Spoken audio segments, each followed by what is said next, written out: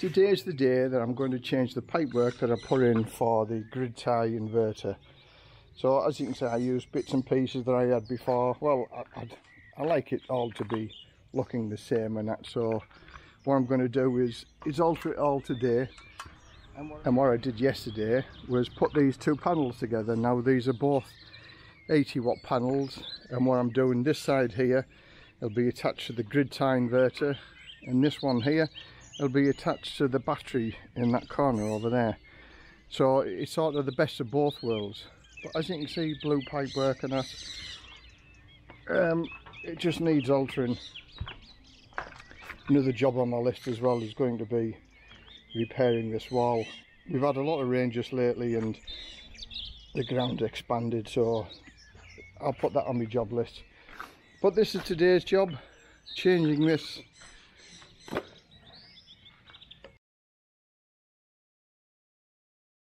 that's where it comes in. And that's a little breaker. Oh little gecko in there. And that's the breaker and then it connects to the outside socket.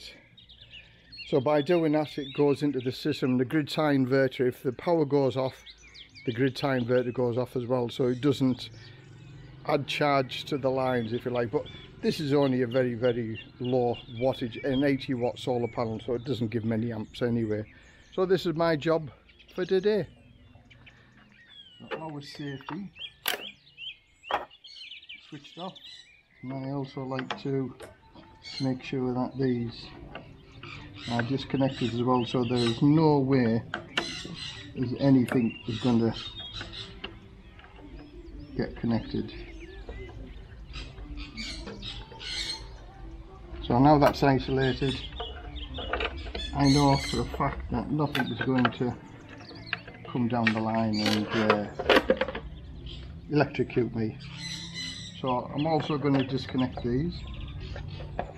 Now these are Wagos. And the Wagos are brilliant. They really are. Far better than the uh, far better than the, the screw terminals that you used to get. So I'll do that. And there we go as you can see behind me it's a bit of a cloudy day so so just working in it's not very difficult or very strenuously hard work but you sweat like anything over here when you're doing any outside work at all. So I'm gonna not bore you with the cutting and measurements of pipe and things like that but basically here where it is before before I actually thread the cable through so it goes all the way along there going to be tied up on, the wall comes across and it goes into that junction box. So what I'm going to do now is just number the number of the pipes so I don't get it mixed up when I'm disassemble them and then thread the wire through. I'm just threading the wire through do all the pipe work.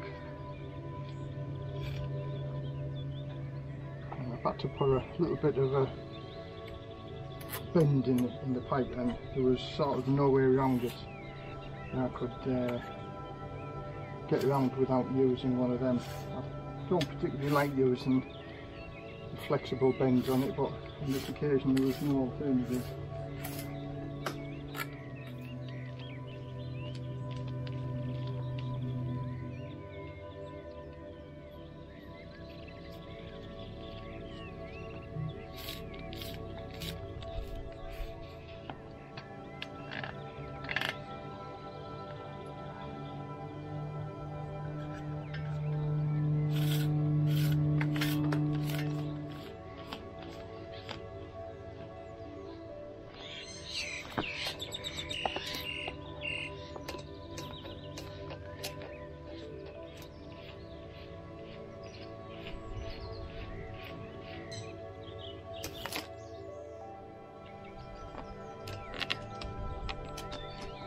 So finished the work for today.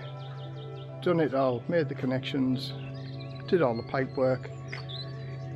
And uh, as luck would have it, the sun came out whilst I was working in it. So I was being in the sun most of the afternoon. It's a little bit overcast and cloudy again, but there's the sun.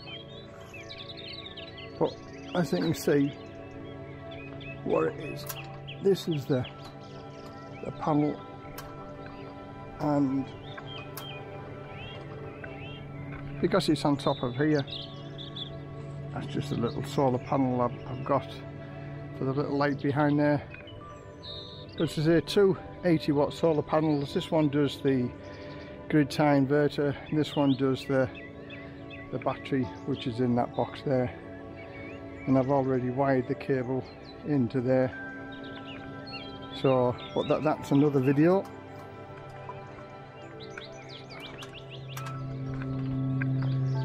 As you can see of course I'm gonna cut all the loose ends off go down there now I normally don't like to see the pipe work and that but there was just nowhere here to, to hide the pipe work so it comes up through there and that's the main switch and it goes on and it goes into that socket.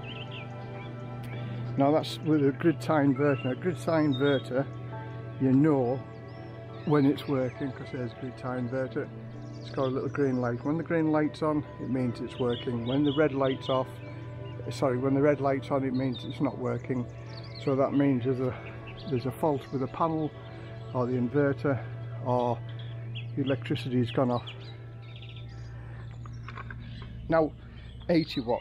Was it worth all of that work for 80 watts so let's round it up to or round it down to about 50 watts an hour uh, the sun shines on that panel for six seven hours a day maybe. So say six hours a day uh, that's 300 watts a day. 300 watts a day of free electricity. So the price is for the solar for the 80 watt solar panel for the inverter all the pipes and bits and pieces like that. I'll come up with the prices and I'll put the price up there. Now when all said and done it, it, it's not a lot not a lot of money to pay out but you don't get a lot of energy back. And but I like playing around with electricity and solar and I think solar is the way to go eventually. Now I would say the other panel that I've got the 80 watt that goes towards the battery and that's my battery backup for emergencies in case the electricity goes off. I'm going to do another video on that and that will just be dedicated to to the battery backup for emergency power and I've tried it out already a couple of times and it works. Now this is the cheapest way of doing that for getting a, a battery backup supply which it's never ever going to run the whole house. All I want is for two fans to run on it. So if it goes off during the night me and the wife have a fan because we don't have air conditioning in the bedroom. Well we do have air conditioning in the bedroom but my wife doesn't like using it so we use the fans. So two fans um, I've had one fan running on it all night and as I say it didn't even deplete the battery by 50% so it's emergency backup so we can run the TV the internet and a couple of fans. Now we don't envisage being on for hours and hours and hours, but we've got a 100 amp battery and we envisage just using half of that, so 55 watts. And my calculations, which I'll do again in the video, and I'll show you why it makes sense to do that because the brownout here, the electricity goes off. It doesn't go off all day or all night. It just goes off for a few hours. And then few hours, it's worth the price that I paid because we've had the electricity go off when it's boiling hot and there's nothing to do for two or three or four hours. So have a look at the other video see what you think. If you like this video, give it a thumbs up. If you don't like it, give it a thumbs down. Leave your comments down below. Thanks very much for watching.